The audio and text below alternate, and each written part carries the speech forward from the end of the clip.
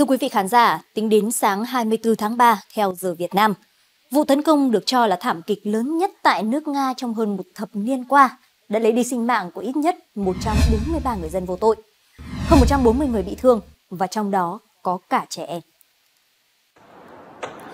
Thật đau đớn, thật bàng hoàng trước cảnh tượng hàng nghìn người trong khán phòng của nhà hát Krokus City Hall tại Moscow hoảng loạn đối mặt với những kẻ mặc đồ ngụy trang. Thưa quý vị, nhóm này liên tục nổ súng bắn thẳng vào người dân và sau đó thì gây ra vụ nổ. đã cháy lớn và phải đến sáng hôm sau thì mới có thể dập tắt. Vâng, thực sự là một cảnh tượng vô cùng khủng khiếp đúng không ạ? Những người dân vô tội họ đến nhà hát để đón xem thần tượng biểu diễn với một tâm thế rất háo hức. Nhưng khi các nghệ sĩ của họ còn chưa kịp bước lên sân khấu thì thảm kịch ập đến. Ít nhất 143 người, họ đã không thể trở về nhà. Và đây là một mất mát vô cùng to lớn đối với nước Nga, những người dân Nga, đặc biệt là gia đình của các nạn nhân. Bày tỏ sự tiếc thương trước vụ tấn công dã man này, Tổng thống Nga Vladimir Putin tuyên bố lấy ngày 24 tháng 3 là ngày quốc tang.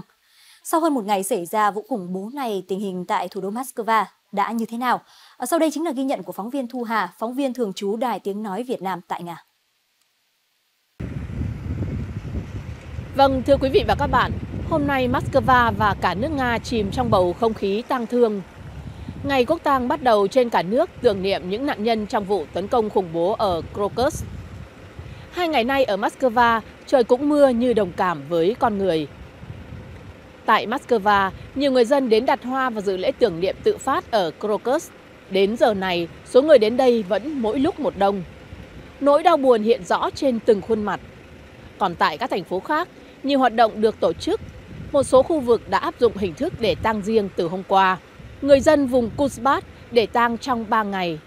Các đài tưởng niệm và lễ tưởng niệm tự phát xuất hiện ở nhiều địa phương như Saint Petersburg, Perm hay là Orenburg. Cư dân một số địa phương xuống đường với hoa và đồ chơi. Trong hai ngày nay, tất cả các sự kiện và hoạt động giải trí đều bị hủy bỏ. Các kênh truyền hình đã thay đổi lịch phát sóng loại bỏ các chương trình hài hước, giải trí. Các dạp chiếu phim, các nhà hát, phòng hòa nhạc dừng hoạt động. Các bảo tàng ở Moscow mở cửa đón khách tham quan nhưng không có sự kiện công cộng. Hôm nay, Đảng nước Nga Thống Nhất bắt đầu gây quỹ để giúp đỡ các nạn nhân của vụ tấn công khủng bố. Số tiền thu được sẽ dùng để phục hồi tâm lý cho các nạn nhân và người thân của các nạn nhân, cũng như là việc phục hồi y tế, điều trị tại viện điều dưỡng và các hỗ trợ cần thiết khác. Thu Hà, phóng viên Đài tiếng nói Việt Nam thường trú tại Moscow, Liên bang Nga. Vâng thưa quý vị, có thể thấy rằng sau vụ tấn công tại nhà hát Krokus City Hall, không khí tang thương đang bao trùm thủ đô Moscow và trên khắp nước Nga. Những thiệt hại về người và tài sản thực sự rất khó để chúng ta có thể kể hết. Ngay sau vụ khủng bố thì Tổng thống Nga Vladimir Putin đã có bài phát biểu gửi tới toàn thể người dân Nga. Ông lên án hành vi tội ác những thủ phạm trực tiếp của vụ tấn công khủng bố và nêu rõ sẽ trừng trị đích đáng những kẻ có liên quan. Mới đây, hãng tin Amac của tổ chức khủng bố nhà nước Hồi giáo tự xưng IS đã đăng trên Telegram một bức ảnh chụp những người mà chúng nói là bốn kẻ tấn công trong vụ xả súng tại phòng hòa nhạc Krokus City Hall ở Moscow. Bức ảnh cho thấy bốn nghi phạm tạo dáng trên phông nền lá cờ IS đều đội mũ và che kín mặt. Trong thông báo dẫn các nguồn tin an ninh, Amac còn cho hay Vụ tấn công xảy ra trong bối cảnh cuộc chiến khốc liệt giữa IS và các quốc gia chống Hồi giáo. Cơ quan an ninh Liên bang Nga FSB cho biết đã bắt giữ tổng cộng 11 nghi phạm liên quan đến vụ khủng bố, trong đó có 4 nghi phạm được cho là trực tiếp gây ra vụ thảm sát. Theo FSB, cuộc tấn công này đã được lên kế hoạch và bố trí kỹ lưỡng để tối đa hóa thương vong. Bốn nghi phạm chính bị bắt giữ ngày 23 tháng 3 tại vùng Bryansk của Nga, giáp biên giới Ukraine, một trong bốn tên này bị bắt ngay tại chỗ, trong khi ba kẻ còn lại tìm cách trốn trong rừng, dẫn đến cuộc truy lùng quy mô lớn. Sau đó, một số đoạn phim ghi lại cảnh giam giữ và thẩm vấn nghi phạm đã xuất hiện trên mạng xã hội. Trong đó có một đoạn phim được tổng biên tập của đài RT công bố trên Telegram. Đoạn phim cho thấy một người đàn ông có dâu nằm trên mặt đất và mô tả bằng tiếng Nga rằng hắn đã được trả tiền như thế nào để thực hiện vụ tấn công khủng bố. Nghi phạm này khai tên là Faridun Samsudin, sinh ngày 17 tháng 9 năm 1998, từ Thổ Nhĩ Kỳ nhập cảnh vào Nga qua đường hàng không vào ngày 4 tháng 3. Hắn khai rằng thực hiện hành vi xả súng khủng bố vì được hứa trả 500.000 rúp, tức là khoảng 5.400 đô la Mỹ. Một nửa số tiền này đã được chuyển vào thẻ ghi nợ của hắn trước vụ tấn công. Tên này cho biết thêm, một tháng trước hắn liên lạc qua Telegram và được cung cấp vũ khí. Người liên lạc đã giao cho hắn nhiệm vụ sát hại tất cả những người trong hội trường. Hiện, Nga vẫn chưa công bố bất kỳ dữ liệu nào về tên hoặc quốc tịch của 11 nghi phạm bị bắt giữ. Bộ Nội vụ Nga chỉ xác nhận rằng không có nghi phạm quốc tịch Nga. Thưa quý vị, nhiều đoạn video clip về vụ tấn công được lan truyền trên các nền tảng mạng xã hội. Và dù chỉ là những đoạn clip ngắn nhưng mà chúng ta đã nhìn thấy rất rõ sự tàn bạo và man dợ của nhóm khủng bố khi chúng xông thẳng vào khán phòng chật kín khán giả tại nhà hát Crocus City Hall. Và thưa quý vị, bản thân tôi cũng cảm thấy dùng mình và thật khó có thể tưởng tượng là những nhân chứng ở đây đã cảm thấy sợ hãi và ám ảnh đến mức nào. Tôi vừa quay lại hàng thì họ bước vào trong và bắt đầu bắn vào đám đông. Tôi nhìn đồng hồ, lúc đó là 19 giờ 52. Họ bắt đầu bắn vào chúng tôi. Chúng tôi bắt đầu cảm thấy hoảng sợ. Khi chúng tôi thấy có người ngã xuống, chúng tôi hét lên, chạy đi, rồi tìm nơi trốn. Chúng tôi đang ở trong tòa nhà của khách sạn Aquarium. Chúng tôi làm việc ở đó. Khi chúng tôi chạy ra khỏi tòa nhà bằng lối thoát hiểm và đến lối trung tâm, chúng tôi nhìn thấy đám cháy trên mái hội trường Crocus.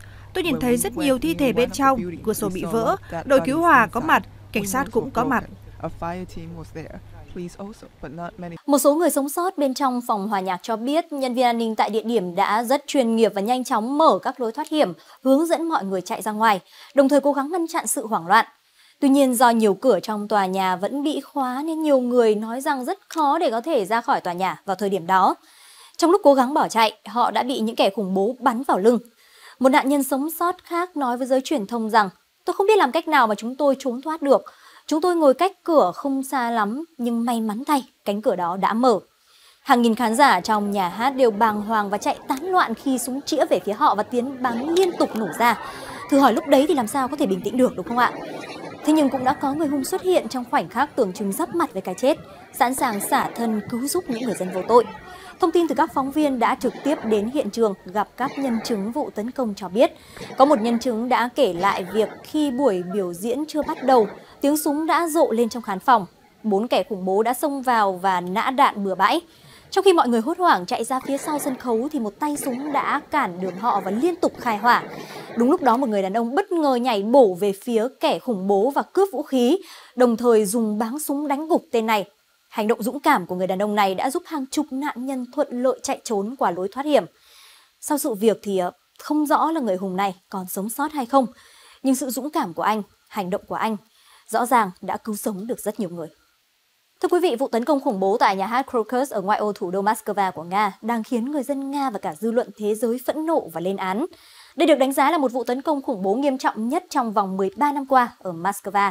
Được chuẩn bị và lên kế hoạch kỹ lưỡng kể từ địa điểm, thời gian tấn công cũng như kịch bản thực hiện.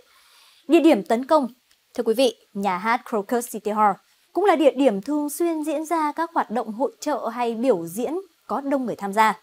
Những thiệt hại mất mát quá lớn nhưng sự việc cũng khiến tinh thần dân tộc Nga được thắp sáng hơn bao giờ hết. Ngay sau khi chính quyền thành phố thông báo các địa chỉ hiến máu tự nguyện, đã có rất nhiều người dân Nga tình nguyện tới các địa chỉ hiến máu để góp sức mình hỗ trợ những người bị thương. Tại trung tâm huyết học mang tên Golikova ở thủ đô Moscow, hàng đoàn người xếp hàng dài xuất hiện từ khi trời còn chưa sáng. Những người đến hiến máu xếp thành hai hàng, một hàng nhóm máu thường và một hàng nhóm máu hiếm cần được ưu tiên trước. Tôi muốn bằng một cách nào đó có thể giúp đỡ những nạn nhân và đây là những gì chúng tôi có thể làm. Tất nhiên là tôi rất sốc. Tôi cảm thấy sợ hãi và kinh hoàng. Bản thân tôi cũng đã từng đến buổi hòa nhạc ở Crocus và khi được xem những đoạn video khủng khiếp đó, tôi đã bị sốc và không kìm được nước mắt. Ngay cả bây giờ khi nhắc lại về nó, tôi cũng cảm thấy rất đáng sợ. Bất chấp thời tiết giá lạnh, hàng người đến xếp hàng để hiến máu cứ dài thêm. Hàng người dài đến hàng chục mét kiên nhẫn chờ đến lượt mình. Tất cả đều cố gắng đóng góp, kề vai sát cánh bên nhau trong những giờ phút khó khăn của đất nước. Bạn thấy đấy, có bao nhiêu người đã xếp hàng chờ hiến máu từ 8 giờ sáng, bởi vì ai cũng cảm thấy đó là nghĩa vụ của mình. Những nạn nhân và những người bị thương, tất cả đều là thành viên trong đại gia đình chúng tôi. Đó là lý do tại sao chúng tôi ở đây. Trong lịch sử, nước Nga đã chịu nhiều cuộc khủng bố. Song trong niềm tin của nhiều người dân Nga, thảm họa luôn gắn kết mọi người, tập trung họ lại và sau mỗi lần như vậy, đất nước lại đoàn kết hơn và đó chính là sức mạnh để chiến thắng mọi kẻ thù. Như trong bài phát biểu ngày 23 tháng 3 trên truyền hình về vụ tấn công khủng bố tại nhà hát Crocus, Tổng thống Nga Vladimir Putin cũng khẳng định nước Nga luôn trở nên mạnh mẽ hơn qua những thử thách khó khăn nhất và bây giờ cũng sẽ là như vậy. Sau vụ tấn công này, những đóa hoa thú bông ngay từ trưa 23 tháng 3 đã được người dân đem đến khu vực Crocus City Hall để bày tỏ tình đoàn kết, lòng tiếc thương đối với những nạn nhân của vụ khủng bố. Và trong ngày 24 tháng 3, trên toàn đất nước Nga đã tổ chức quốc tang. Dòng người đem hoa, đem nến và thú bông đến khu vực này còn nhiều hơn nữa để có thể thể hiện tinh thần đoàn kết của dân tộc Nga. Sau vụ tấn công thì không ít ý kiến từ lãnh đạo Nga đã chỉ trích Ukraine đứng sau vụ khủng bố này. Tuy nhiên, phát ngôn viên Tổng cục Tình báo Bộ Quốc phòng Ukraine đã tuyên bố Ukraine không liên quan đến cuộc tấn công. Ukraine đang bảo vệ chủ quyền, giải phóng lãnh thổ và chiến đấu với quân đội Nga, không phải dân thường. Tổng thống Ukraine Volodymyr Zelensky cũng đã lên tiếng cho rằng những cáo buộc từ Nga đối với Ukraine sau vụ tấn công khủng bố ở Moscow là điều hoàn toàn có thể đoán trước được. Trong khi đó, Phó Tổng thống Mỹ Kamala Harris hôm 23 tháng 3 cũng đã bác bỏ thông tin Ukraine đứng sau cuộc tấn công khủng bố ở Moscow. Đồng thời, bà cũng gửi lời chia buồn đến gia đình các nạn nhân. Bà Kamala Harris cho biết Mỹ không có chứng cứ về vai trò của Ukraine trong vụ việc. Quan trọng hơn là chi nhánh của tổ chức khủng bố nhà nước Hồi giáo IS tự xưng tại Afghanistan đã nhận thực hiện vụ nổ súng đẫm máu vừa qua.